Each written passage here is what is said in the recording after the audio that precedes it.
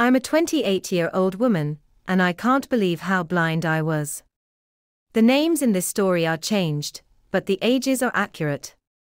This is a trigger warning for infidelity. My ex fiance, Brad, 31, cheated on me with my ex best friend, Andrea, 27, for months. Brad lost his job during COVID, and the betrayal came to light after that. I moved out the day after I found out and went back to live with my parents and brother, who are all aware now.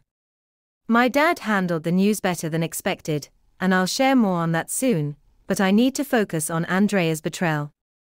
Andrea always wanted Brad, and once I started dating him, she pursued him aggressively. Her obsession grew when Brad rejected her, and things escalated after I moved in with him following our engagement. Andrea and I used to share an apartment, and once I left, she started living alone. As more details surfaced about their affair, I became increasingly disgusted.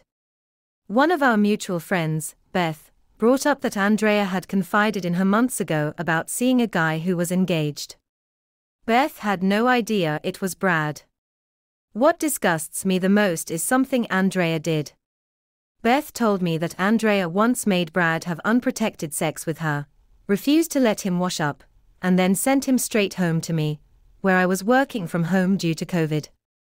Brad demanded oral sex from me immediately upon walking in, which I thought was odd, but I complied. Andrea later confirmed this to Beth, laughing as she said she wanted me to taste her on him. I feel so dirty and betrayed. Edit.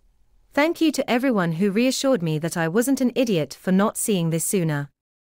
Many have suggested going scorched earth on them, especially Andrea. While part of me agrees, I'm very non confrontational, and have always believed that good things happen to good people. Even now, as I burn with anger, part of me wants to hold back.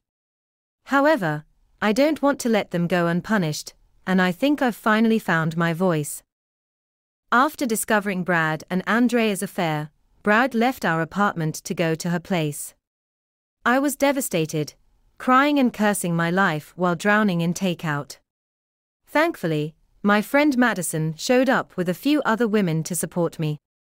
They helped pack my things while I slept, and when Brad tried to come back to the apartment multiple times, they made sure he didn't get in, except to retrieve his work laptop.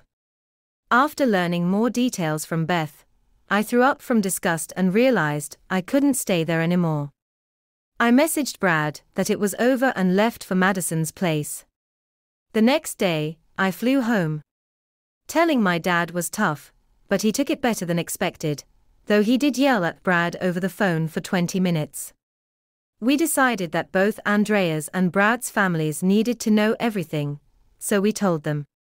Andrea's family was devastated, especially her mom and sister, who had no idea. Brad's mom was equally shocked and apologized repeatedly, while his sister said she was ashamed of him. I got tested for STIs, and thankfully, I'm negative. Andrea's sister even accompanied me to the testing. My dad and I also spoke to a family friend who's a cop, and he mentioned that while assault charges would be hard to pursue due to the circumstantial evidence, a good lawyer might make a case. I'm still undecided about taking legal action, but I do plan to inform their company's HR about the affair. My family has suggested therapy, which I plan to start soon. I'll be moving to my aunt's place, where I'll focus on healing and therapy. I've spoken to my boss, who's been supportive, and I'll be staying close to my family for a while. I know recovery will take time, but being far away from Brad and Andrea is what I need right now. I'm still processing everything that's happened. Brad started cheating on me about a year ago, which is heartbreaking. If only he had been honest, or told me things weren't working.